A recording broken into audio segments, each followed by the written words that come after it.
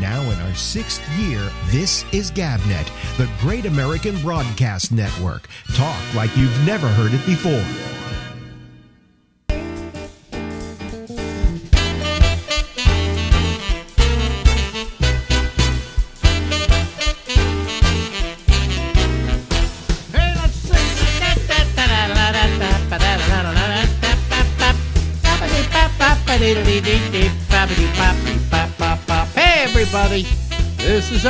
This is The Ramble, and we go from midnight till midnight tonight on the East Coast of the United States of America.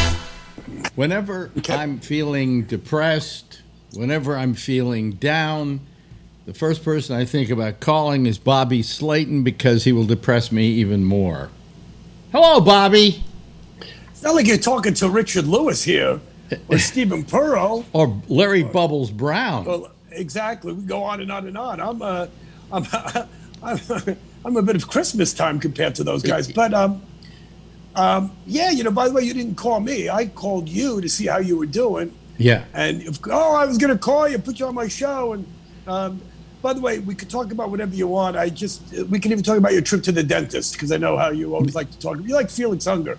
You can do a whole show. You know, when I used to come on your show in the morning, if you had any kind of med- mental or more me- medical problem, you know, and I didn't have anything to talk about except plug my gigs, we knew we could always hear about your medical And conditions no- and the medication you were on and all that. Nothing's changed. It's still the same.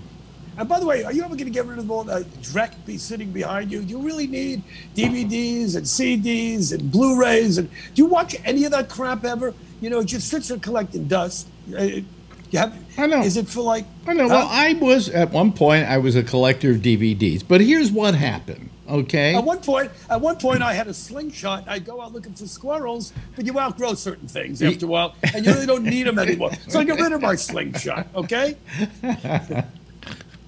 No, uh, uh, what happened is I started, this is not all of them. I started putting them all on video files on my computer. So I'm I put maybe a thousand of those on there. These are the ones that are left that I haven't done yet. You know, um, you know, my, my girlfriend's like me. You know, we, we she got rid of a lot of clutter in her house. You know, her her late husband was a member of the Academy, so every movie that ever came out, Right. for fifty, you know, for forty years, he had all this stuff. So she finally, you know, you know, now between Netflix and Prime Video, and the fact that even a great movie like Taxi Driver or It's a Mad, Mad, Mad, Mad World, you know, it's like one of these movies like Goodfellas or Raging Bull. It comes on TV, The Godfather, Yeah. Frankenstein, whatever. Yep. You'll never shut it off, but you're never going to take it and go, hey, let's watch this again.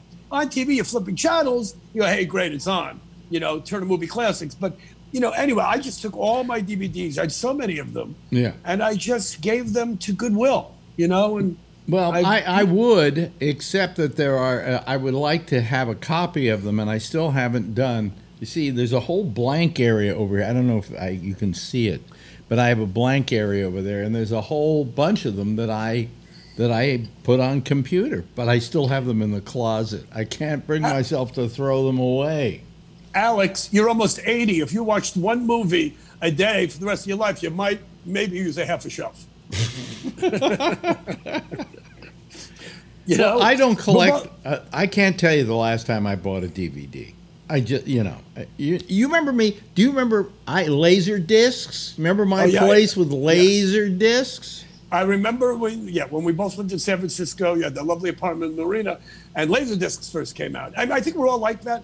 When cassettes come out, you get rid of your records, and then CDs come out, you get rid of your cassettes, and then you know, and then when you get iTunes, you get rid of this, and you keep getting rid of stuff, and then you your iPad, you get rid of DVD player, you start getting rid of more stuff. But yeah, you not only had an incredible collection of Laserdiscs, but you know, you would buy the latest. Uh, you know, DVD player, uh, you know, cassette player. So when something came out, you would always be at Best Buy. Your, I think, your apartment kind of looked like, you know, a, a, a showroom for televisions where you could. Do I need a TV in the bathroom? I need one in the kitchen. But what about when, by the time I go from the bathroom to the kitchen, we better put one in the hallway. So you you could just keep watching something continuously from room to room. It was like a sports bar with classic movies with different games on all over the place. Bobby. Yes, I do Bobby, remember. Bobby, I'm 80 years old now. Don't you think at this age I've changed? Uh, your diapers? Good night, ladies and gentlemen. You're a great show. I haven't lost it. You still got it, kid. Yeah. You still got it. It's the Saturday night. I mean, Uh, don't you think maybe I've changed at 80? I don't know. I don't. I don't see you that often. I don't know. Um, well, I got I mean, news. uh, I got news for you. There's a TV set in every room. You know, well, that, that you know what? That's perfectly fine. I'm still amazed. Look, look. I have a beautiful big screen TV uh, Yeah, in the yeah. living room, Yeah. and I have one in my uh, guest room, and I have one in my bedroom. And my girlfriend goes, "Well, we're never in the living room. What do you need that for?" I go, first of all." Then there's just going to be a giant space, and Mm-hmm. I don't know. Someday I might get into sports and have the guys over for the World Series and make nachos. And, Yeah, yeah, You know, we. yeah. I don't know if that's ever going to happen, but it's nice to know it's there, you know? Mm-hmm. And why not have it? It looks good. You're walking the house. But I know a lot of people, and I'm sure you do too, that have never had a TV in their bedroom. That's shot. That's like having a bathroom without a toilet. That's the one. What's the point? Yeah, I mean, that's the only place to really watch TV, isn't it? Right. Well, you know, it's funny because now that I live alone, you know, since I, since my wife passed away years ago, I have this not a big house, but a really nice, comfortable house, and I have a, a big guest room, and I put a giant, oh, I don't know what it is, 70, 80 inch television in there, and my girlfriend and I will go in there to watch a movie or watch a big, you know, Springsteen or Stones concert because their sound is great. But then, you know, we go, most of the time we go, why don't we just lay in bed? So going to have to get up and go back to the bedroom. The 60 inch television in the bedroom, it's fine. Yeah, it's not we, getting we have we have you a 65 in the bedroom. Uh, you know what I say about about the size of a screen you get? It is this. It, it, think about the relationship of yourself to the screen in a movie theater. How much of your field of view does it take up? So when you're in a Right. bed, you're maybe a couple of feet away from the TV set. So if you got a 65 inch set, you've got your field of view about the same as it would be in a movie theater. Exactly, exactly, and it, it's great. You know, and it, it's so funny. You start. I me- remember the original TV I had in my bedroom. I think I, I was so thrilled. It was 42 inches, and I'm going. My iPad is 42 inches. 42. Remember, you were a kid, and your parents, and you were watching Howdy Doody or something, or even in the 60s, and you had the rabbit ears. And, and, and I remember my parents got like a 30 inch television. Oh, wow, that's giant. You know. Yeah, yeah. No, uh, the first TV set we got, how big was it? I think it was a 21 incher. I think so. Maybe Yeah. it was less than that. You know. Uh, Yeah, well- a- and, and they were small, and then they went to 27s, and that's Right. what you usually had if you had a tube set. Right. And uh, some, uh, I I remember Shecky bought himself a, I think it was a 35 inch tube set. And to pick that thing up, you had to you had to bring five guys over to pick the Right. goddamn thing up to move it to another room. Right. Now, Right. 35 inches on a screen, you just pick it up and put it under your arm and move it to the next room. Yeah, you got five guys that can pick up a compact car and move it to the other side of your driveway. It's- it's- Yeah. things have changed. Yeah. Things have changed since we were kids. Yes. But anyway, um, so what was I? I'm sorry, you know, I got all dressed up for you. Yeah, you really, this, you uh, really are. Uh, yeah, and you've been out in the sun, haven't you? Well, it's I, I live in L.A. and I don't work, and I love and I have a pool. So why not? You're the kind of guy that even if you lived in Hawaii, you'd be sitting in front of your computer and television. I know you. Yeah. No, yeah. I mean, I sit out there all day. I sit in my pool. I read books. Uh, about three o'clock, I have Mm-hmm. a vodka tonic. You know, and it's uh, that's my life right now. It's it's great as long as the money holds out. I have no desire to go back to do stand up comedy, and it's uh, You know, you know You what know- though, Bobby?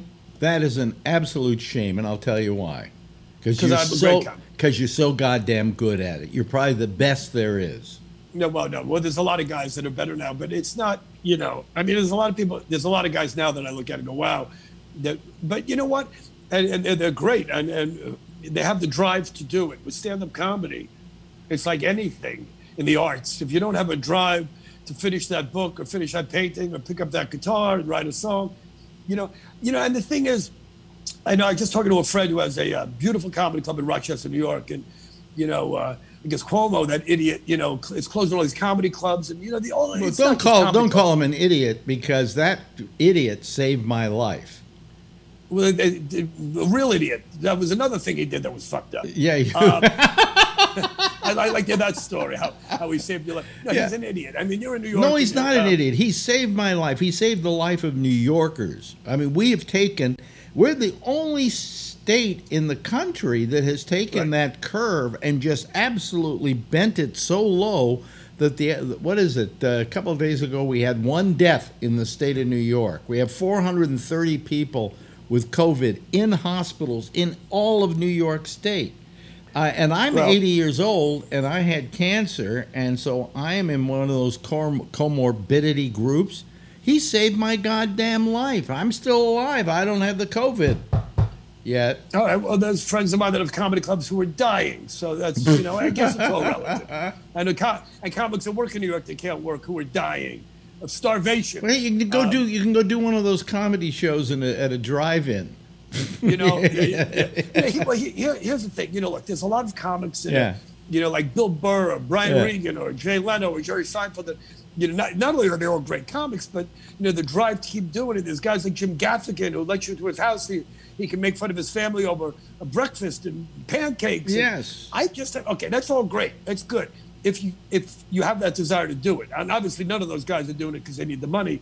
Um, but I just don't really have the drive to do it anymore, you know. And it's uh, and plus a lot of the stuff that I was doing, uh, it's not that uh, cutting edge anymore. It's not, you know, there are guys out there that are just shocking and, and you know, used to, I know. Look, I was never doing stand-up comedy to be cutting edge. I was never doing stand-up comedy to be politically incorrect. I was never doing it to shock people. People go, "Hey, you walked 12 people tonight." I never did it to walk anybody. I did it like like Bill Burr or Lenny Bruce or George Carlin or Richard Pryor. You know, Yeah. not to put myself in their category, but these guys were thinking, "Hey, this is going to piss people off."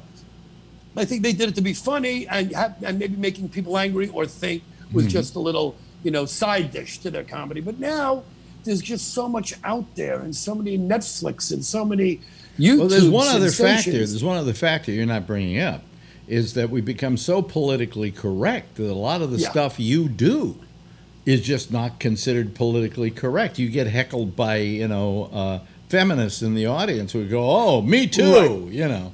Well, well, here, here's the thing. I've always had that, and and it's always been okay. But now things have gotten so out of hand. You know, with the cancel culture, I'm sick of talking about it. You know, but things have gotten so out of hand. But here's the difference. I never made it to a level where I was playing theaters. You get a guy like Bill, Bill Maher or Bill Burr or or Dave Chappelle or whatever. Yeah. Um, Yeah. people are coming to see them in a theater, so people know what they're in for. I'm playing a comedy club, and you get some people who are, hey, we're just visiting Miami. We decided to go to a club. You know, it's my it's my daughter's bachelorette party. We decided to go to this club. You know, uh, people are on vacation or people walking by, and hey, it's a comedy club. So not everybody's there to see me, and I just don't want to listen to people's crap anymore. You know, whether they're Trump supporters or whether they're, you know, um, Black Lives Matter nothing. Mm-hmm. Right, right. I'm just saying I don't want to hear about it. I, I'm not there to, you know, to, to you know talk politics or to be politically correct. It's a comedy club, but people, you're right, are so uptight now that it's just not worth the aggravation. I'm 65 years old. I don't want to listen to people's shit. I am perfectly happy being at home. You know, right before I called you, I was playing my drums and uh, well, playing my I bang my drums. I don't I don't play my drums. Right, I bang right. them. Yeah. And I used to very frustrating. I, and so, but speaking of that, so I just got a giant a, a big screen TV Right. and I put it in my drum room so I could watch drummers and play along with them. And all that did was make me more frustrated because I go, shit, I'll never be like this guy. It's probably like Bob Dylan listening to Woody Guthrie for Yep. the first time, going, shit, I suck. I have nothing. This is what it's all about. And I sit there, I throw down the sticks, and I hate this crap. Let's go. go to- let's go back to you though. You know, comedy is something that takes a great deal of work to accomplish being a good comic. Uh, it's trial and error. It's years of experience. You are now at an age where you probably are the one of the best comics alive, and you're not using your instrument, and that that kind of bothers me. You know. The only reason I'm one of the best comics alive is a lot of them have died from COVID. Thank God. Put me hmm. at the top of the list. More of them would die. I could be, I'd be the only guy in demand now. Everybody would hire me. There's no other comics. But, but then no clubs Flake. are open though. No clubs are open. That's right. No clubs open. You know what? Look, there's a lot of guys. I, I, I- I was good for my day. I was look, look. You know what it's like? There's no best anybody. And there's all the, Bobby, like Bobby, I, good for your day. I mean, you, that's like saying Jack Benny was good for his day. Jack Benny was just terrific no matter what. But you want to know something? If what? Jack Benny came along now, or look, my favorite show of all time, The Honeymooners, they put that on now. You know, people's sensibilities and people have become, I don't want to say more sophisticated, but there's a lot of stuff that doesn't, you know, I was watching the other night, uh, uh, A Night at the Opera, and my girlfriend, who's a little bit younger than me, um, I met her through Jeffrey Epstein. Good night. my, no, my girlfriend is in her 50s. Okay, so she's a child of the more the 70s, the Love Boat generation. She didn't mm-hmm. grow up with Get Smart and, yeah. and reruns of The Honeymooners and, and, and, and, Lucy. But, you know, if you watch a lot of those shows. So, anyway, watching that at the opera, and she thought it was entertaining. I still find that stuff funny, maybe because I'm a guy, maybe because I'm a comedian, maybe because, you know, it's like Charlie Chaplin and Buster Keaton and Harold Lloyd you know, you put that on for a lot of kids today, they won't find it funny. And it, I'm not saying the millennials are idiots, but uh, or, or it's just women that don't like this stuff. But what I'm saying is, Jack Benny might not, or Lenny Bruce right now. If you if, if Lenny just came out and did what he did, yeah. none of it would. Yeah. You know, he was a product of his generation and of his time.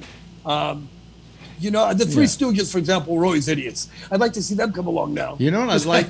yeah, what I'd like yeah. to do is get back to that because we've run out of time here. But we'll do another one of these and we'll pick up for, at that point. Okay. Okay, pick it up. Let's go. pick go. it up, ladies and gentlemen. That's Bobby Slayton. He's playing absolutely nowhere because he doesn't want to. So right. And also, if he did want to, there's no place to play. Thank you, Bobby. Right. Thanks for having me on. I'll see you soon. Sixth year, this is GabNet, the Great American Broadcast Network. Talk like you've never heard it before. Hey, that's Bobby Slayton. He'll be back with us again next week. We did a couple of those. So, uh, yeah, and he said he'd, he'd come back often to do the program. So, good. I love Bobby. He's an old friend, one of my oldest, dearest, oldest, and dearest friends. Okay? Yeah, and I don't use the term friend lightly. You know, somebody has to be a friend.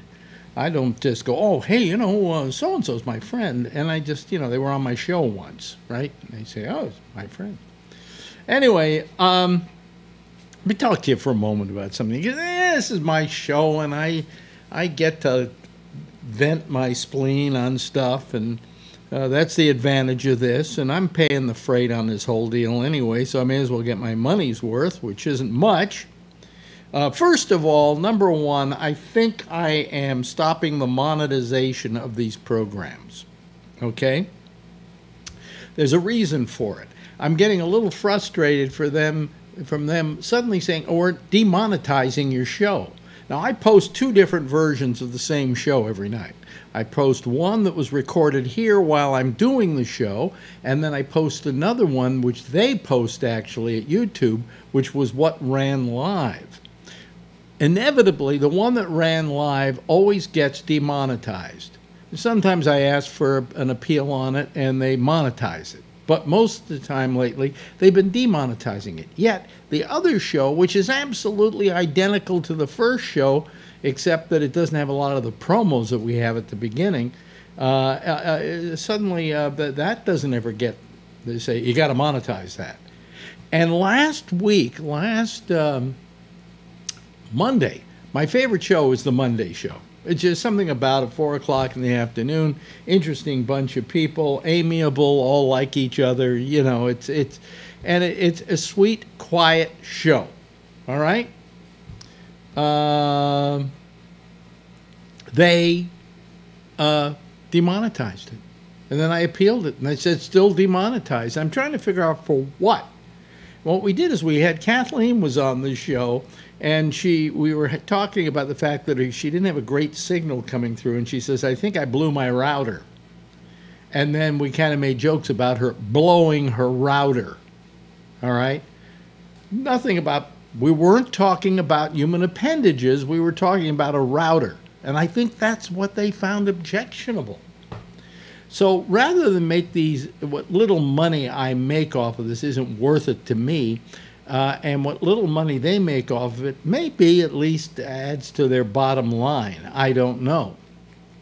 But that being the case, I would rather rob them of the money by demonetizing the show myself. So if you're watching it tonight, you watched it without having to get a commercial at the beginning of it. Okay? All right. Let me tell you one other story, and then we'll, we'll get to our, our uh, panel.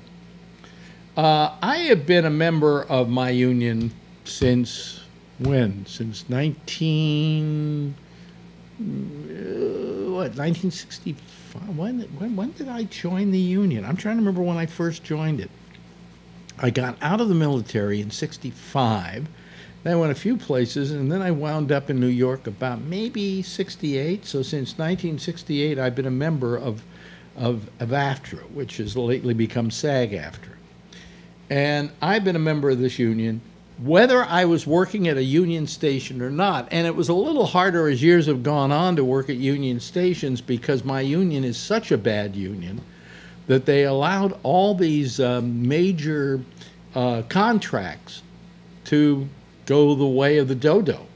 So that, for instance, here in New York, you virtually could not work a radio station without having to be a member of AFTRA. And um, as years have gone on, they have so let these go by the wayside that now you find very few stations in New York that are AFTRA signatories. Okay? So consequently, the union has let us down in that regard. Also, that meant that over the years, I wound up having to work at fewer and fewer what we call AFTRA stations, stations that were union.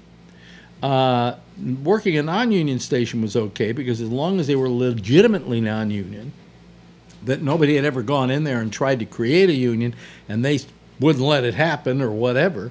As long as it was legitimately a non union station, I could work it. Uh, but I have always maintained throughout all of that over the years my membership in AFTRA. And the reason is, is that, hey, it's my union. And it, it gave me a certain sense of pride the day I got my first union card when I worked in, uh, where did I get, when did I first get it? I think I first got it in Chicago, if I'm not mistaken. That's where I first got it. But anyway, point being that I've been a member of AFTRA since, well, let's say 1967. Okay, how many years is that? 60, about 50 years, something like that? I don't know. You add it up. Uh, and really, I've gotten nothing out of the union. They've never gotten me a higher wage or anything like that. Uh, and um, uh, I, there's one story I have, but it's too complicated to get into about the time that I tried to make my company a union signatory, which I did. And then when they found out that I was getting in, uh, health insurance as a result of it, because my company was literally paying into the union pension fund and all of that. And after about a year of it, they said, Oh, you can't do that. You're doing that just to get the health insurance, which wasn't the reason I was doing it. I was doing it because I'm a union guy and I wanted to be a part of my union.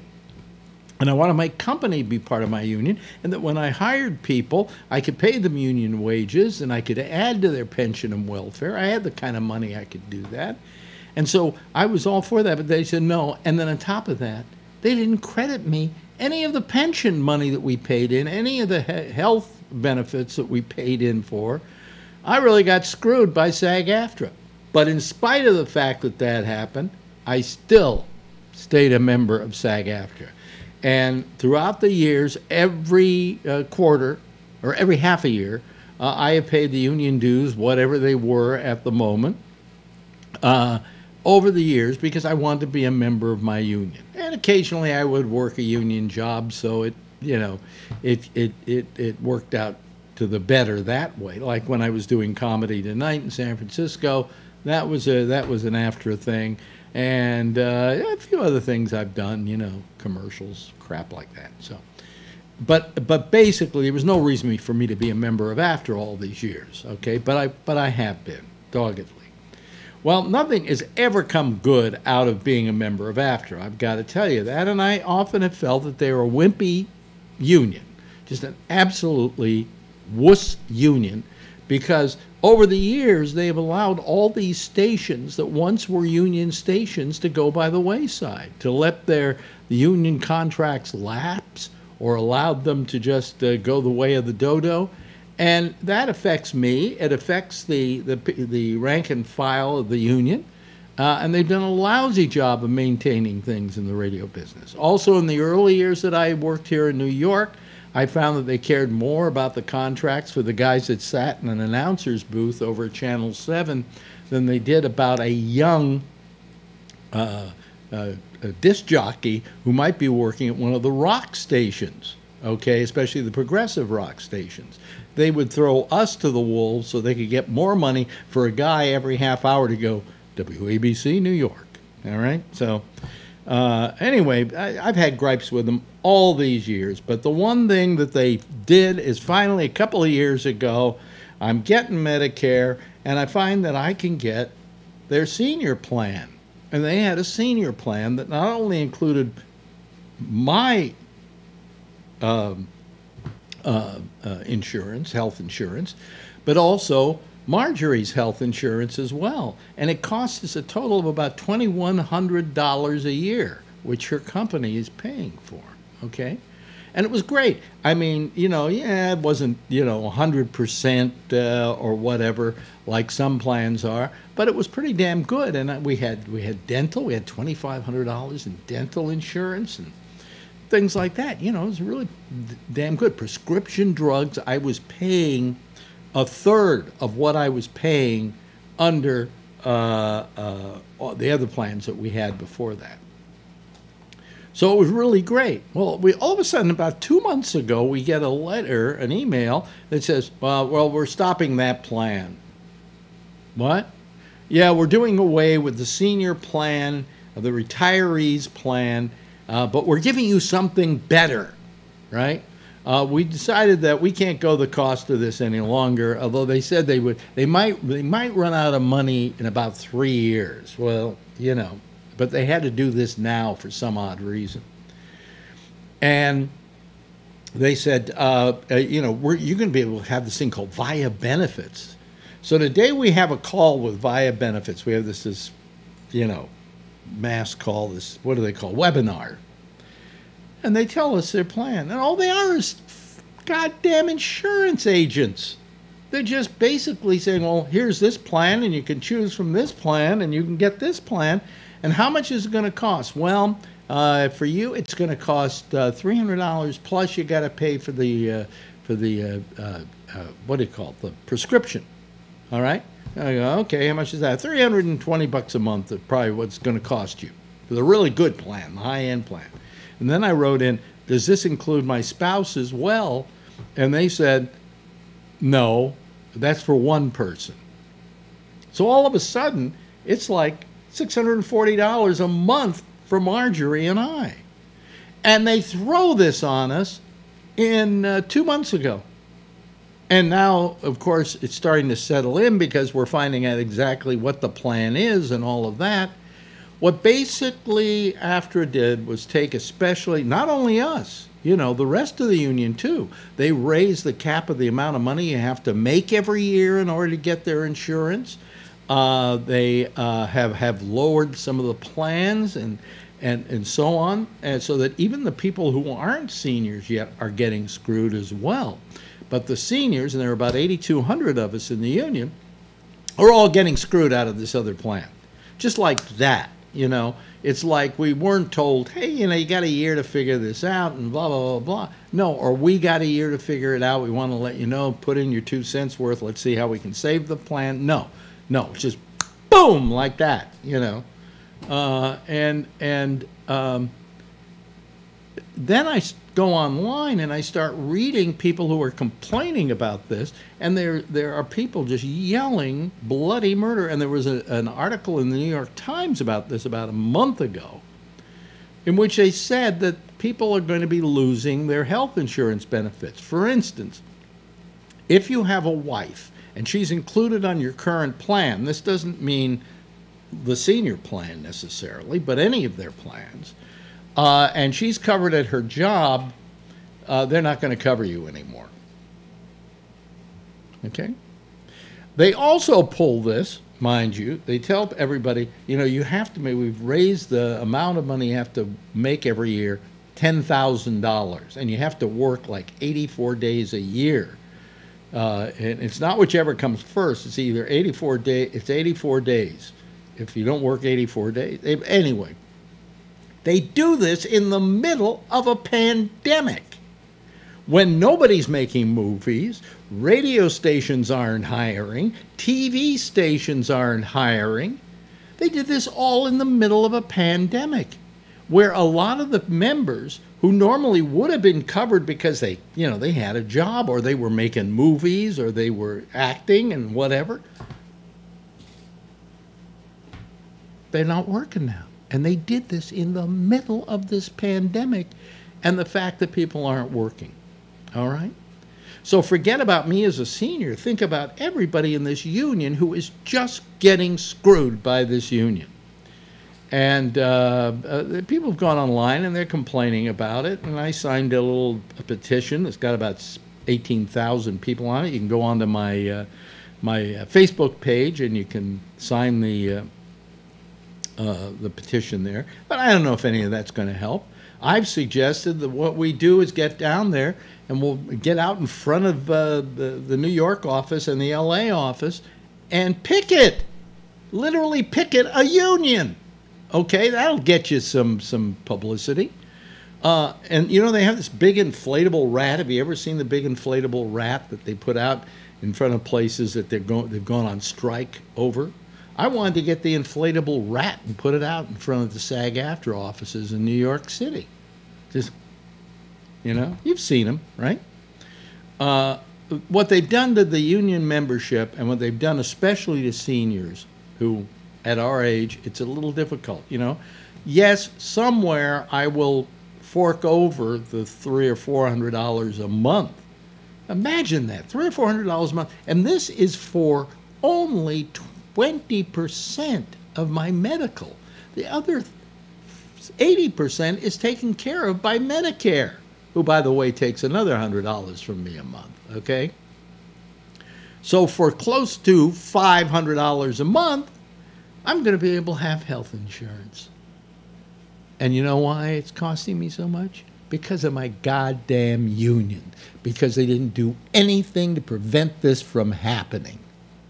And screw all of them. And then they had this little video they run of members from our union, like Barry Gordon. You remember Barry Gordon, the kid actor? I think he was in, uh, what was that film? Uh, I can't remember the name of the movie. Uh, but he did a lot of films. He also played uh, Jack Benny as a child on the Jack Benny show. He's there going, hey, you know, I'm a senior now, and I think this is a great plan. And you, you go over to Via Benefits, uh, you know, all Via Benefits is is a uh, is a an aggregator for Medicare health plans, and no, they're not going to get you a bargain. And um, oh, hey, we'll we'll we'll subsidize you though. We have a health uh, benefits plan where we we'll pay a little bit of the money out of your chunk of money that we give you, but I don't get any because I didn't work that much. All right. So the people that are being affected are older people, younger people who who don't make the big cap. Uh, you know, this is a union. It's supposed to be watching out for its membership, not screwing it. Uh, and, uh, you know, very few of you are AFTRA or SAG. And are there are any SAG-AFTRA people with, on the show? So I, or listening to me right now. So there's not much you can do that way.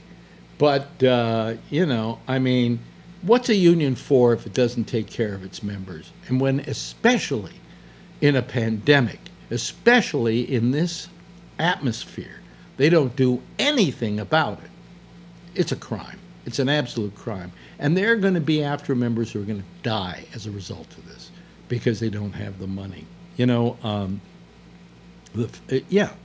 I mean, you know, come on. Uh, you know, not everybody who works in movies is has money today. You know, they're older. They're in their 80s. They've kind of run out of the big cash. You know, and uh, they need every little help they can get. I mean, the union should say to people, based on your ability to pay, uh, we'll give it to you for nothing if you really need it because you're a union member and you've been a good union member for the last 50 years. Right? Nah, nah, they don't give a shit. Anyway, that's my gripe. I'm sorry if I uh, if I bothered you with this. Uh, I really uh, don't like to, but oh, a lot of people heard me. Amazing. Anyway, let me see here. I think it's time to go over to our Zoom panel. And uh, Charlie Wallace and Robert Natali and Brian Neary is there, and we'll go to them. And uh, here we go. Hello, guys. How are you all? Huh? Good evening. Good evening. How are you? Good. Yeah, yeah. Excuse me if I wanted to, you know, rail against my goddamn union, but, you know. It's, Sounds like it's you got screwed. huh? Oh, no, screwed big time. You know, screwed big time. Uh, you know, and and uh, you know, yeah, we were getting kind of a bargain with this other medical. I mean, it didn't cover everything. There were a lot of co-pays. You know, I, you know, you owe so much. You know, whatever. One of these plans I can get, and Marjorie's company is probably going to pay for it. We'll take care of 100% of everything, right?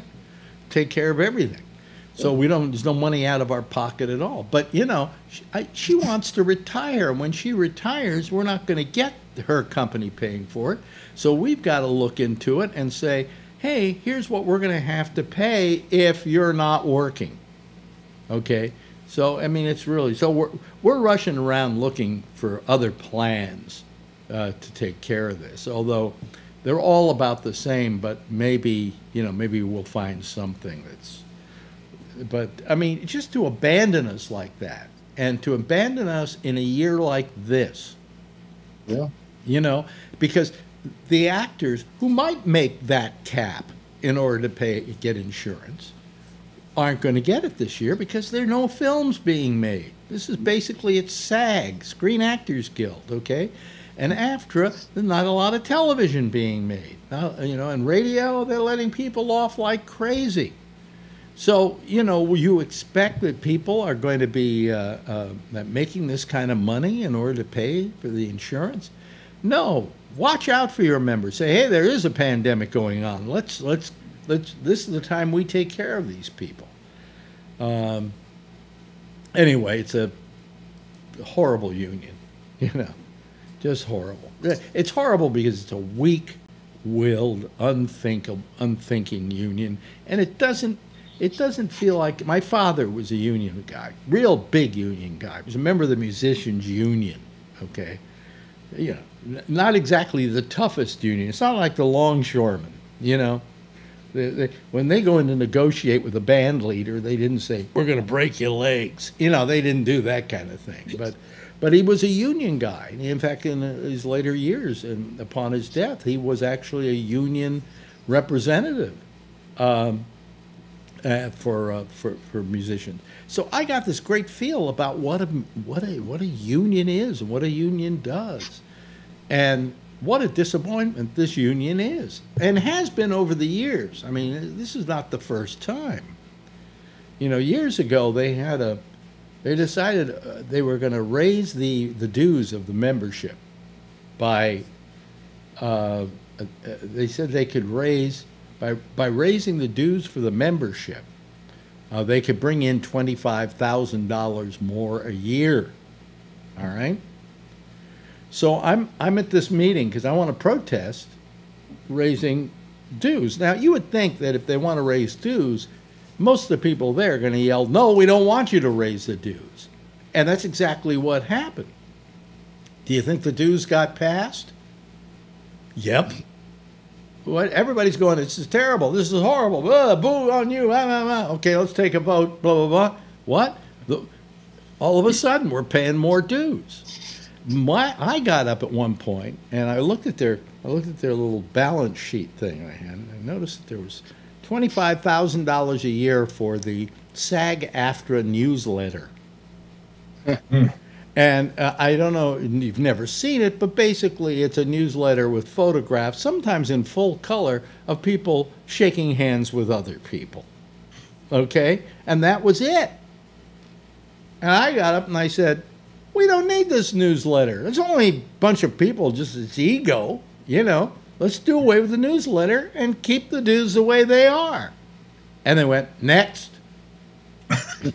yeah, they wouldn't even discuss it. They wouldn't get rid of the goddamn newsletter. Like Trump. Next. that's that's my union.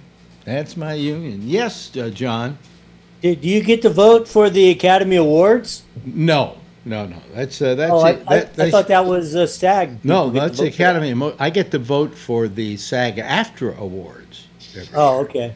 uh, where you know that that's the only benefit I have left, and that's probably gone because uh, it used to be that around Christmas time we would receive this shitload of Yeah. what we call screeners, and I so I you know kept my membership just for the screeners, and um, uh, this year there won't be any screeners. What? You know what's coming out? You know Yeah.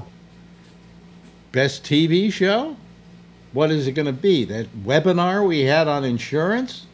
yeah, I'll vote for best best show by that one. And then the host on this thing, boy, was he a loser. Oh God, it's just it. I sat here and I was just, I got this sinking feeling. You know, I mean, I've got to get some insurance somewhere. I've got, we've got to pay for it. You know, and Marjorie's company will pay for it. Um, but when she's no longer working there, then it becomes our responsibility, and we've got to have it be at a reasonable rate that we can afford, you know? And yeah, I got money in savings. I got stuff, you know, and I could probably go many years paying three, four thousand dollars a year, and and somehow, you know, die of some other. It, it'll make me live longer, so I can suffer losing the money. Um, and I, I can probably come up with the money, but you know, it's just going to start robbing me blind. And think about that. 20% of my medical insurance is costing me, what, $400 a month? It's insane. It's insane. And if you had to get it, if you had Medicare, do you have Medicare yet, uh, anybody here? Yeah.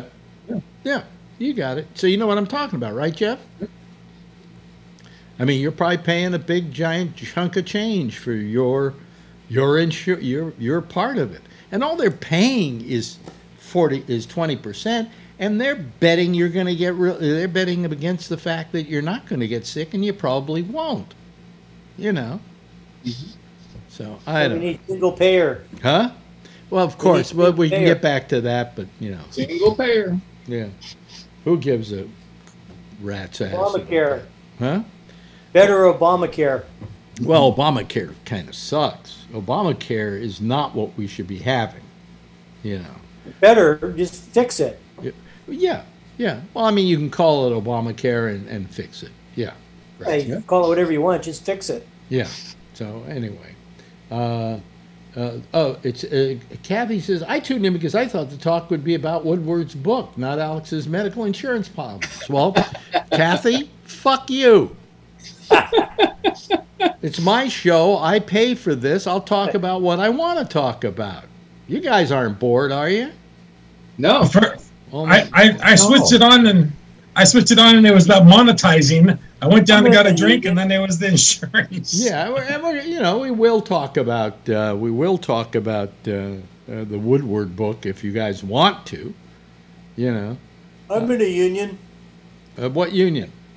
It's a theatrical workers union Oh, for like okay. ushers Uh, and uh, is that and is it backstage thing. IATSE? Uh, I think that's it. Yeah. Yeah, IATSE. My mother used to work as a secretary at the IATSE office. I think. In San Francisco. Yeah. Mm-hmm. Wow. Yeah. Yeah. Those those are the people. in a union. Those are the that's the stagehands union, basically. Yeah. Yeah. Yeah. Yeah. Yeah, we'll come over and we'll break your sets if you don't sign the contract with us. you know. How would you? How? I, I, I, I, you know, we, we have things called VU meters in radio that were the little needles that used to go back and forth. And I always used to do a bit about my our union representative comes by and says, "How would you like your VU meters not to work so well?" Yeah, we might bend them. Anyway, anyway, yeah. American Patriot says, "You tell her, Alex." Yeah. Well, she hasn't written anything since I told her to go fuck herself, but and I can do that now because we're not getting monetized any longer. Yeah. So. Mm. Anyway, anybody hear about this um, whole thing with uh, with Woodward and his book and his interview with Trump? Sure. Yeah. Yeah, What- I saw some of Mm, Yeah, It's no longer surprising, you know? No. Nothing shocking. Nope. He can't go any lower. Yeah, but I mean, Confirmation. My question is, how low does he have to go before he loses his own people? Yeah. That's Won't just happen. it. I don't think I don't there's think no, he will. There's no bottom. Well, I There's mean, there's no bottom. uh, Cult when, got a cult. when he when when they say that he says that you know uh, he said all the things he said, and then he told Woodward something completely opposite. Yeah. You know, uh, that that kind of you know really makes him skeezy. You know, it makes him irresponsible. And now the now the White House is saying that he never did downplay the COVID nineteen. Yeah. What? It, Right. it- Yeah. What the fuck are you talking about? It's on tape. You can hear his voice Uh, saying minute, it. I, doing I- it for seem to fucking hear- six months. I seem to hear the echoing voice saying to me, uh, I may be wrong about this, but an echoing voice saying, uh, "It's nothing worse than a common cold." Yeah, yeah. I Yeah. think I remember that. Um, Go away. huh? It'll go away. Miracle will happen. Just with the heat. Be Yeah, down to zero in two weeks. exactly. So, Yeah. Yeah, if it wasn't for me, there'd be three million people dead. y- yeah, yeah, yeah. So I mean, I just it, amazing, just amazing. Um, uh, but uh, uh, y- y- you know, I mean, uh, how many people have died as a result of his? Uh, well, I I don't think it's a problem. You know, it's no worse than the common cold. This is all going to go away. Hot weather, make it go away just like that. You know. Uh, Calling, calling the generals fucking pussies was a nice touch. That's a Yeah. nice Oh yeah. Fucking pussies, yeah. Woo. You know, uh, here's what I don't get. Um, you know, I- I don't know if you heard the Woodward phone calls, but it was an entirely different Trump. I know. Did you notice that? Yeah. That he seemed far more in control of what he was saying, a lot more. Uh, uh, how can we put it? Uh, speaking English correctly. You know, do you know what I'm saying? If you listen to it, he sounded almost coherent. And yet, when he talks about it the other way, he gets completely incoherent. You know, if he had said all this stuff way back when, think of how many lives he would have saved. Yeah. Yeah. Yeah. You know. Uh, so, I mean, I, you know, I, uh, where are you going, uh, Bree? Bree's taking us on another trip What's in that his cage? life. Huh? I caught What's another in- civet. Let's see. I caught another. Caught it- oh, another no. civet. Let's At- see at it. This point, at this What, what, point, he, what, he, what he does, folks, in case you don't know what he's talking about, he traps uh, foreign cars. So it's. well, you said you caught another Civic. Civet. Oh, Civic. Oh, I see. Okay. well, let's see it. Take it out. I, Yeah, I right. Been out there. I was out there. I just showed you. Where? Go get it. Take it out of the cage. Wait a minute. No, I'm not taking out. of Okay, this this one tops all the others. It's the largest, and also, it's trying to get out so much that it's damaging its face and its tail. It's bleeding. Uh, so I called the wild. I gave it another banana, and I called wildlife and said, "Get over here now." This, I mean, it is. It's so intent on getting out. It, it's just, it's killing itself. You know, to get Can't out. you take it out to the beach and let it go or something? I can't do anything. I don't have a car, and Yeah, uh, he, he needs to get the animal control people in Yeah. there, and he's in there, Yeah. right? Plus, if he lets it out, he'll probably attack him. Exactly. Really? Now, how yeah, did how, well, now how Yeah. did how did how did you how did you catch it? Also, these ones, by the way, are related to SARS. They they were known carriers of SARS, Oh god. and they like to they like to spit at you uh, if you come up to them. So- Really? there it is. Well, let's see. Go go closer so we can see it. I'm not going. No, John, come on. Yeah. Hey, Oh, sleeping. Whoa, that thing's huge. Wow. That is Yeah. Sleeping Civet live. Can you kind of zoom in on that? Is that possible? You can usually zoom in if you use your fingers to s- separate Yeah. a little bit. I'm at Yeah, there you go. Maximum. There you go. Oh, man. Wow. He looks like he's passed out. yeah. He eh, give him another five minutes, he'll be going crazy again. Really? Yeah. And I put the banana on top to distract him, or her. We think it's a her. Uh, we, we put the banana there because he, he's otherwise he's just running into the cage and into the hook, and really damaging uh, her body. So Jeez. Uh, Are they, are they, Yeah. Yeah. are they dangerous? they can be. I mean, Yeah. you know, like a rat. You know, they they can uh, they can certainly attack if they feel cornered. Are they about the size of a house cat or are they larger? Way larger. Uh, about the size of a house cat. Okay. All right. Yeah, That's like a bigger Maine Coon cat. That looks bigger than a house cat. Well, a Maine Coon cat. You ever seen a Maine Coon cat? Nope. Oh, Yeah. They get pretty big. Yeah. Okay. Um, Wow. I, I have to figure out a way to get it some water. Uh, I'll wait until the midday. Usually they sleep from Well, now well, until wait a minute. When are the animal? p.m. When are the animal control people coming? Yeah. Well, I hope that they come soon. But if if if if history holds, they will only come tomorrow at noon. oh Um, right. Like, why don't you take it out to a field and let it go? There aren't any fields around here. Number one. Oh. Number two, I have no way to transport it. I, I don't have a car. I, I Oh. just have a bicycle. I could put it on the back of the bike, but it, that would be probably traumatic. And I, there's no fields around here. I wouldn't know where to release it. And this one needs care. It needs. Uh, they need to knock it out, and um, and then do some, you know, uh, First aid. repair work. Yeah. What do they do with it after they repair it? They put it like in a I- wall somewhere? that's my understanding. I I don't know what they do. I mean, if they had a, a, a civet cat coffee farm, they could take them there.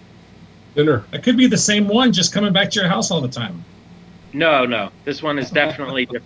We, What- I can what- tell them. The first two were very small babies. Why have they picked? like- a. Let me ask you this: Why have they picked your house? Um, I think it's a combination of factors. Um, one of which is we keep putting all these juicy bananas out there. Well, stop Um, with the bananas then. Well, I just look. I have no problem with them. They want to live out there, take some of my wheatgrass. That's fine. I just cannot abide by 2 a.m., 3 a.m., 4 a.m.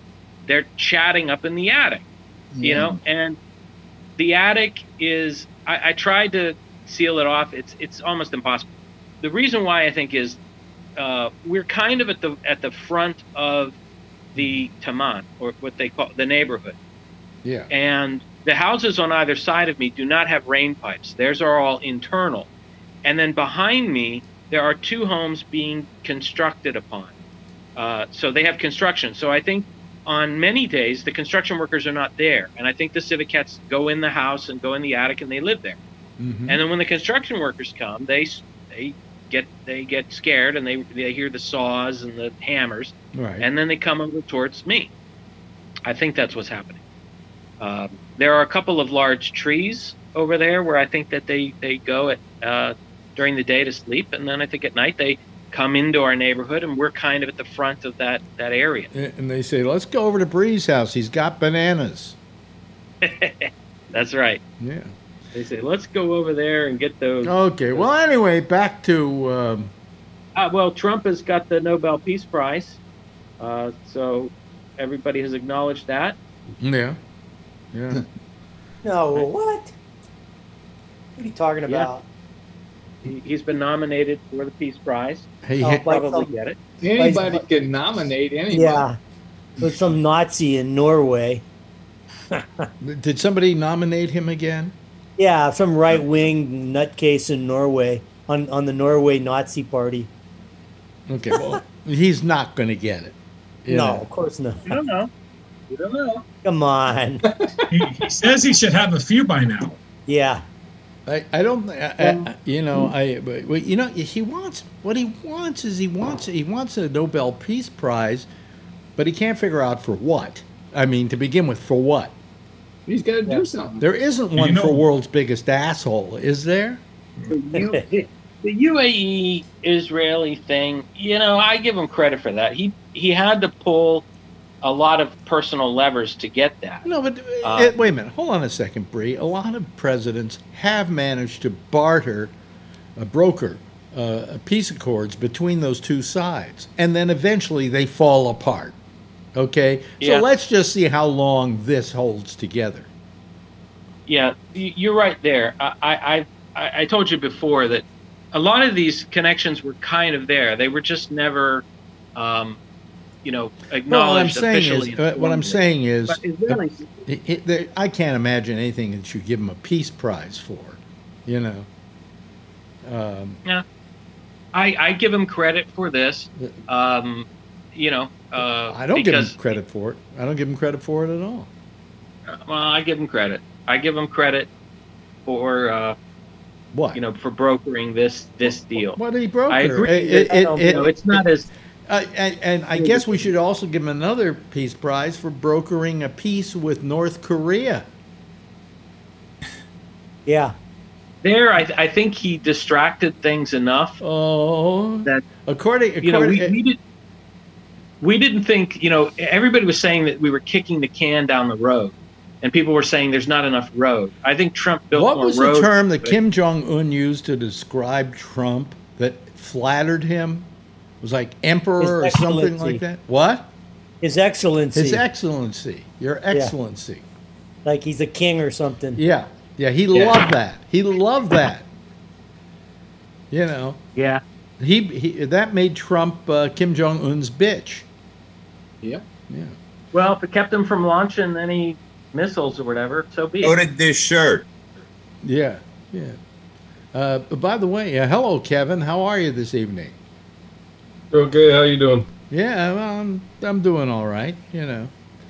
Uh, So, so, so Alex, it's been in our area, maybe San Francisco, yeah, San Francisco too. It's been like orange. yes, I know. I saw that on the Oregon. news tonight. Oh yeah. Yeah. I woke Oregon's up. like red. I woke up. It was so dark this morning. I thought it was still nighttime. I was, I was like, I had to check my clock. I said, the Supposedly, the, all the skies are the uh, are the uh, color of, of Trump's complexion. Yeah, yeah. It's Uh, all all sepia all the time. In fact, if he went out Yeah. to California right now to do a Mm. like a you know a, a, a, a campaign stop, he would disappear. Yes, that would Yeah. be nice. like a green screen. yeah, But the ash, the ash would ruin his hair. Yeah. yeah. Is it bad where you are, um, Brian? Yeah, yeah, really bad this morning. It was like it was snowing again. Lightly, I, I saw other video that was even worse. But just the orange glow is like when you're in somewhere and like the outside is glowing. They say it's like a sunset, like a continuous sunset all day. Really bizarre. Then my friend Yeah. showed pictures from Oregon where it's like a red color. Crazy. Yeah, it was all day, and I drove to Monterey. It was the same thing all the way down. Really? Now, this isn't is this is this happening in Southern California too, or is it less in Southern California? It might be because they got a fire down by San Bernardino or down by San Diego, but it might. I don't know about them, but it hit the the the Big Creek fire is coming west, and it's joining up with Dolan down here, which is Big Sur, and then the north the north winds are bringing the stuff down towards the Bay Area. There's one up in the north end of the uh, Guerneville up there by the Guerneville, and that's all coming south. So they're all just kind of conglomerating, and it's uh yeah, it's just like a it's just this big haze. You can't see shit. It's Which is never the saw the uh, sun today. Which is the, excuse me, uh, which is the, um, uh, the gender reveal party fire? That's the one down south. Yeah. El Dorado. Could we just El stop with gender reveal parties? We just, you know, It's it's so stupid. Why would you set off fireworks during a drought? And I would suggest you do your gender reveal party once the kid becomes 18 because things do change, you know. Right? that's right. hey, we did a gender reveal. We just told everybody she was that's a girl. That's all. Yeah. That was our reveal party. Well, It's, Did it's- you see? Uh, there was one. If you look it up online, this is poetic justice. There was a guy doing a, a gender reveal, Yeah. and they had this uh, Roman candle supposed to shoot up into the sky. Mhm. He had it reversed, right at his Oh. crotch. They got, they got video. Well, that They got was, video of it online. Well, that's fine because that changed his gender. Gender repeal. Yeah. Yeah, gender repeal.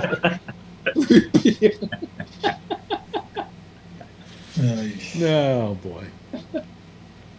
But anyway, so uh, the you know the whole thing with uh, uh, with with Trump is is uh, what is it? You know, it's like my I said before. What does it take? What what would it take to get you to vote for Biden? Uh, you know, uh, is anything going to convince his people? Th- No, these troglodytes that are going to vote for him, no. because all Biden has to do is stay out of the way, and Trump's pretty much going to lose this one on his own. You know, because it gets worse every day. I mean, armed with the information that people are armed with now, how do they vote for Trump under any conditions? Well, we didn't get an answer on that one. Yes, you, Charlie.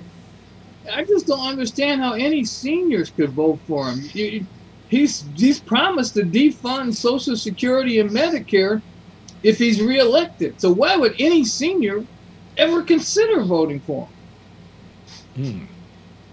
Well, you know, if he wants to defund Medicare, best thing he could do is probably become the president of my union.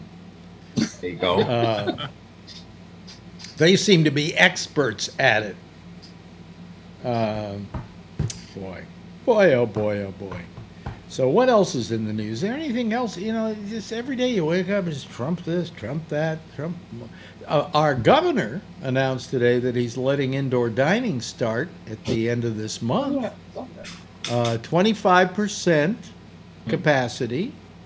Uh, you have to have proper ventilation uh, with HEPA filters. And what else? Uh, oh, and they take your temperature when you come in. Complimentary. You know. We do that here. What's happening over there in New Jersey? Anything? Or uh, I know the governor came out against Trump today, saying, "Gee, if Trump had just come out a little earlier and warned us, you know, we might Yep. have saved tens of thousands of lives." Yeah. I mean, Yeah. literally, you have a president who's wound up murdering people. Oh yeah, he's got blood on his hands, He- definitely. uh, definitely got blood on his hands. Hmm. Horrible. Yeah. yeah. Yes, uh, Jeff. Yeah, we can go in uh, restaurants inside now. Yeah, but how about kind of capacity? I think it's twenty-five percent. Yeah. Twenty-five percent or something. Yeah, yeah.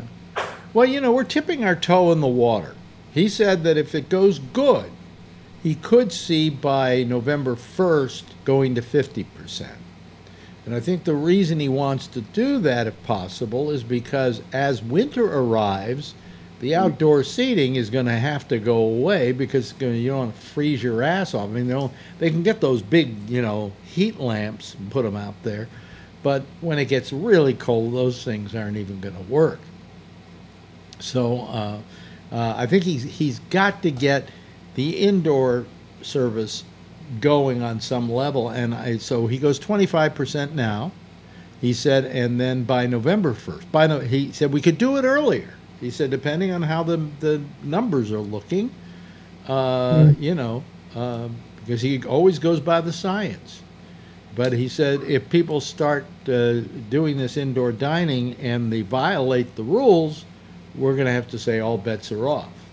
You know, so. And he's oh, you know what? Trump will have a rally and fuck that all up for you. Do you know what he's asking people to do? Rat on your restaurant. he no, what he's doing is he's going to have signs in every restaurant saying if you see a violation of any of these rules in this restaurant, please call this number or go online to this place or text us at. Okay. Uh, he said he's going to let the people kind of police the situation. It's kind of cool.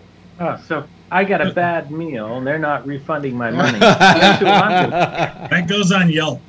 Yeah, but if they show up and, and they, he, they aren't violating any of the rules, you're probably the one that's going to get in trouble.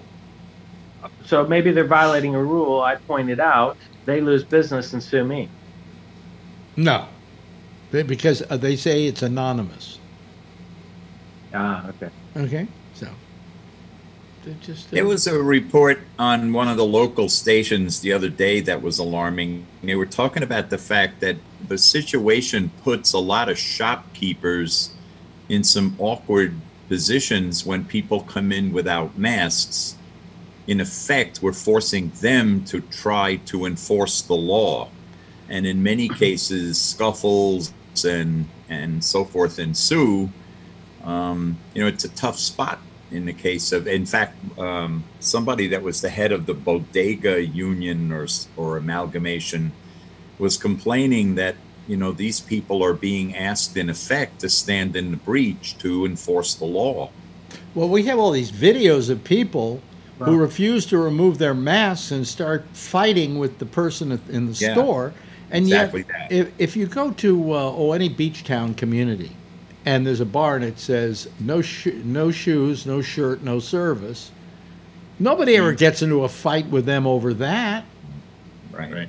Well, what about? Uh, I think I see a violation here. Um, I got a picture of it. I won't report it if you give me my meal for free. I mean, there's all kinds of people get a little bit of power. Or, You know, You they know- say, "I see a violation. I'm Yeah, going to but you report it." see, oh no, you're not. oh yes, I am. oh no, you're not. minute. Maybe that's how things go in Kuala Lumpur, but here in New York, we're far more civilized. No, uh, I see some restaurants outside of DC where you, you say you like Trump and they ban you or something. I, or I think that's know. a good idea. the Red Hen restaurant. The Red Hen restaurant.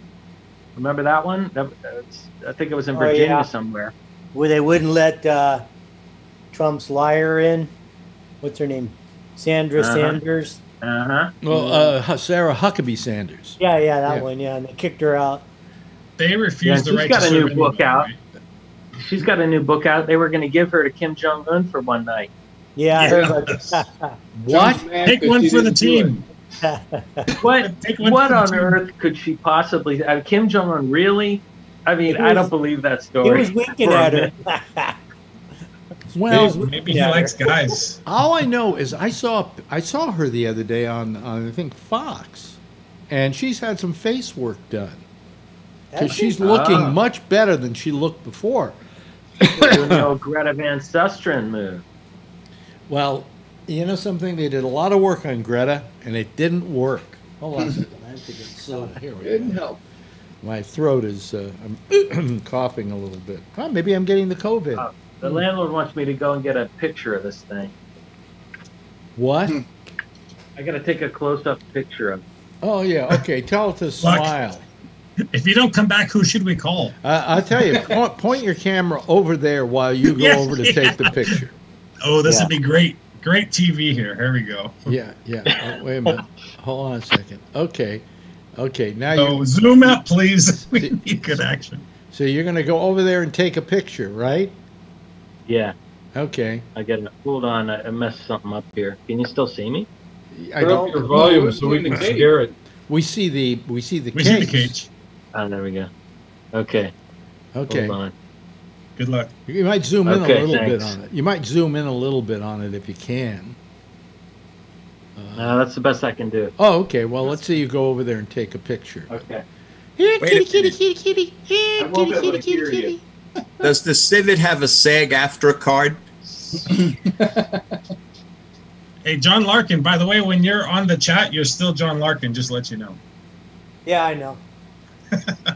No, he's not. He's Kenny On the, no, on the chat. Yeah. Oh, on the chat. On the chat. He's still John Larkin. Yeah. Oh, no. Here he Oh, here we go. goes. Here we go. What, what, what's he gonna? What's he? What, what's he trying? Oh, he's ta trying to take a picture of. Okay. Yeah. Boy, he wouldn't even get close to the cage, would he? Yeah, He gets fine. closer than I would have got. Hmm? Yeah. If that gets out, that's going to attack him. Is this entertainment or what, folks? Yeah. I think it comes under the category of or what. Uh, anyway, um, what else? What else is happening? Is there anything else happening in the news? Oh, What's- oh, oh! The Oscars. Oh, Have you seen great. about this? They're not going to have one. No, they they're going. They have new new rules coming up. there has to be anybody who makes a movie. It has to be inclusive, otherwise it can't be nominated. In other words, Yeah, I'm you- totally against uh, this. At least one character, was- at least one of the one character in the film has to be a minority. I mean, there are rules like that, and a certain What? amount of minorities have to be working on your picture. So now they're gonna have what cameos of people walking in the background to make it qualify, or what? Yeah, probably, probably. Jeez, come on. You know, I mean, I can think of several movies where actually, I don't think there would be any black characters if you were doing the story. No.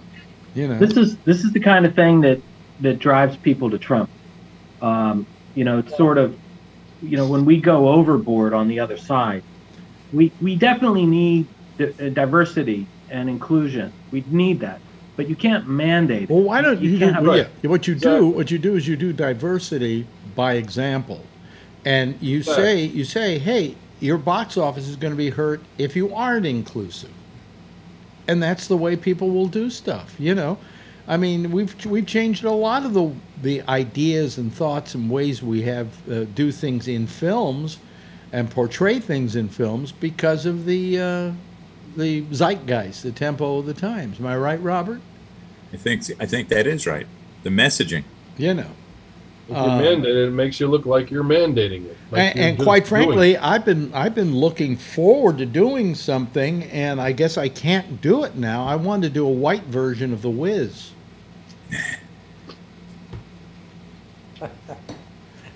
won't work. Huh? That's an old Won't one. work. An Too good. Yeah. Alex Too been good the way it is. No, it's not an old joke. Actually, it's a story that I was told by who was the science fiction writer. Um, oh God, I'm trying to remember his name now. Anyway, he, uh, he in fact, one time he called me uh, a disc jockey, so I called him a science fiction writer. He didn't like to be called science fiction writer. Harlan Ellison. And he tells a story about how he, he calls up his agent. Uh, and his agent is, he picks up the phone and he is just laughing his head off. And Harlan says, "Wh- wh- "What's going on?" He said, "I can't talk to you right now." He says, "I've got to, I just got to calm down. I'll call you back in a few minutes." He calls him back in a few minutes, and he's still kind of laughing, but he can get a sentence out now. And he says, "What? What? What went on? Why are you laughing like this?" He said, "I just got a call from somebody, and he pitched me on an idea." And uh, Harlan said, "What was the idea?" And he said, "He wants to do a white version of the Wiz." Some guy actually thought that would be a good idea. So it's not it's not a joke, it's a true story. You know. But there already was a white version of The Wiz, The Wizard of Oz. Well, of course. Of course, but that's the joke. you I know, I know. Um, This, this cat is crazy. what what? It is just it is just trying to get out of it. And it doesn't care if it really damages itself. Really? I can't watch it, you know? Well, then why don't you just I don't know. I'll tell you, I have an idea. Um, why don't you put a sticker on there, go down to the airport, and ship it to the White House? Yeah. He's trying to get the banana. Is Yeah. he trying to get the banana? Yeah. What, what is that their food of choice? Oh, they love bananas. Hmm. Yeah, but it's outside. No wonder he's trying to kill himself. Oh, No. that's it, it, it- No, no, no. Oh, That boy, I can see it him now. Calm down. wow. He calms down trying to get that, you know? Mhm. It looks like It's a, a like a, focus. Focus on that. like a jackal. Wow. It, it's a weird animal. What a Holy weird, shit. scary animal. That yeah. thing's what? That thing's huge. Yeah. He's trying to. Looks like a lemur. It kind of does. It doesn't look. uh, It, and does it have like a like a mask on it? Yeah. See how it's trying to bite the metal? It's trying to it's trying to break the uh, the spring. But even if it breaks that spring, it's still not going to be able to get out. It, it, it'll have a better chance, Yeah. but I don't think it's going to be able to break that spring. But if it does, there's another holder on the bottom.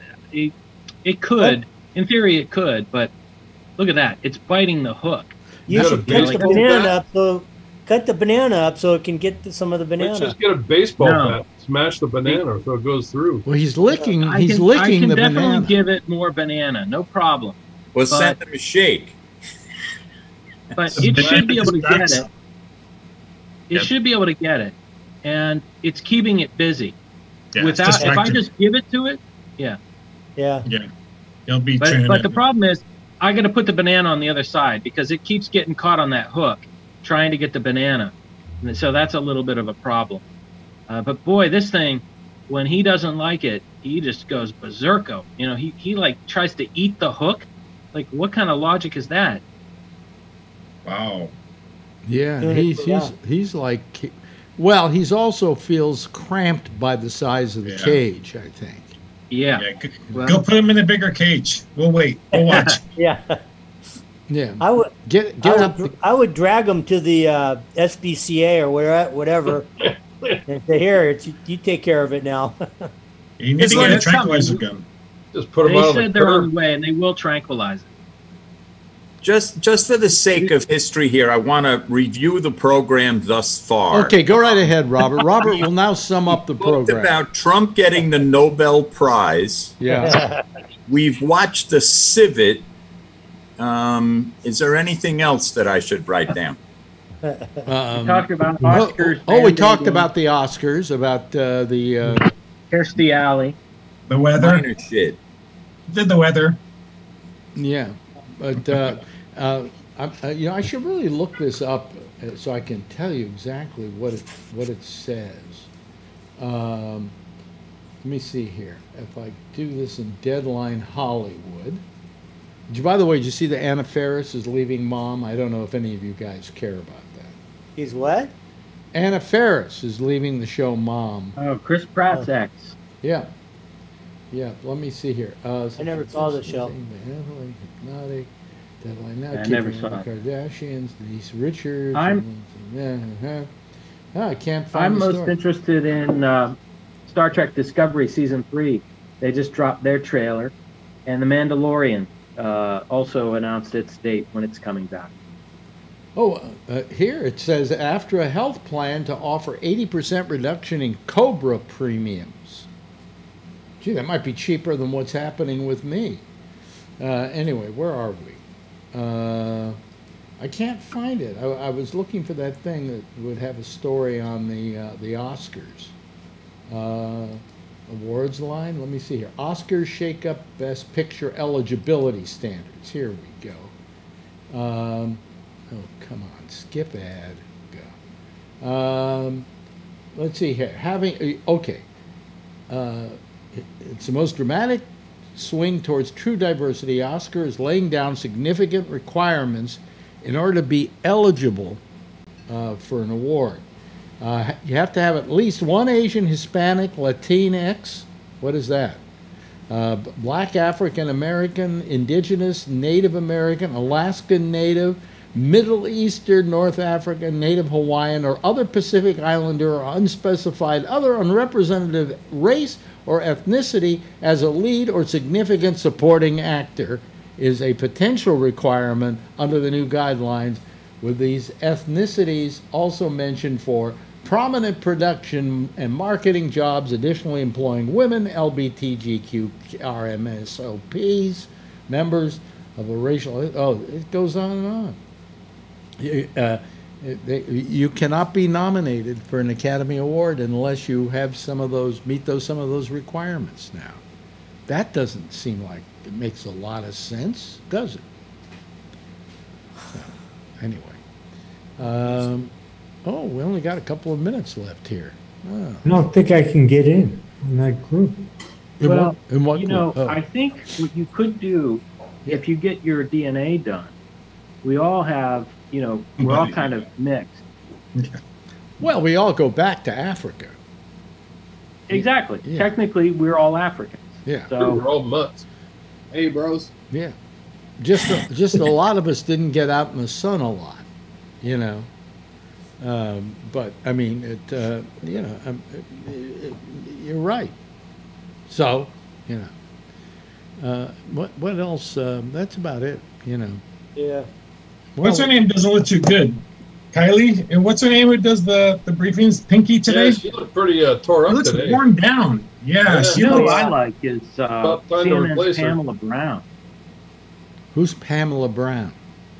Oh, she just got into it with uh, Senator Kennedy uh, about the Oh, Trump yeah. audio. Yeah, I saw that. and she's she's feisty. I like Doesn't her. that guy talk like Foghorn Leghorn?